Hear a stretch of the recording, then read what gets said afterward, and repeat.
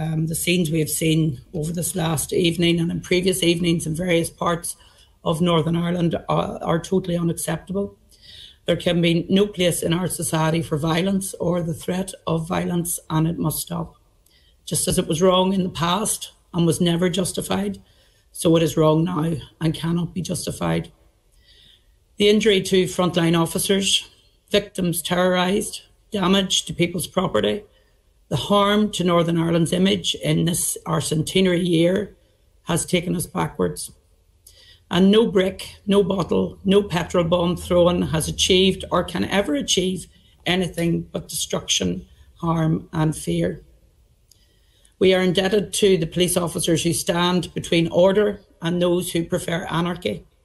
We are also indebted to all those political representatives, community leaders, parents, pastors, and others who have sought to calm tension and urge restraint. Rioting, criminality, and wanton destruction destroys lives, livelihoods, and brings fear and misery to local communities.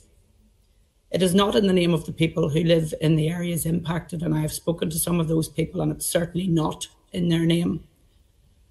Today is not the time to rehearse the arguments of this last number of weeks. Safe to say that we should all know well that when politics fail or uh, are perceived to be failing in Northern Ireland, then those who fill the vacuum offer destruction and despair.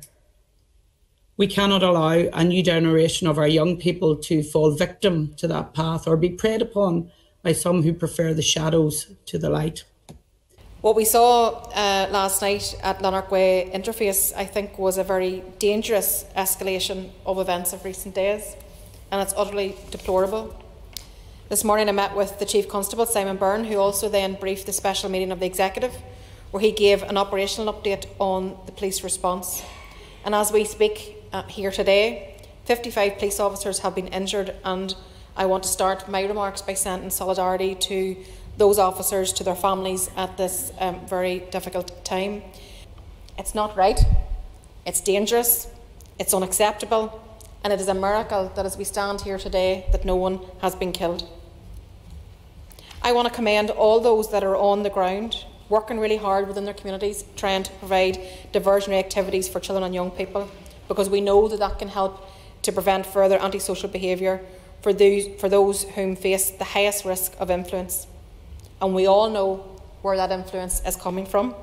It's coming from illegal loyalist paramilitaries and criminal elements that are orchestrating this violence, while they stand back and send youngsters out to do their bidding. These people are no role models for our youth. They're outdated, they're antiquated, and they're caught in a time warp, which is no bearing on where the vast majority of people across the society now are, or indeed where they want to be. They're holding back their own people and they're holding back their own community.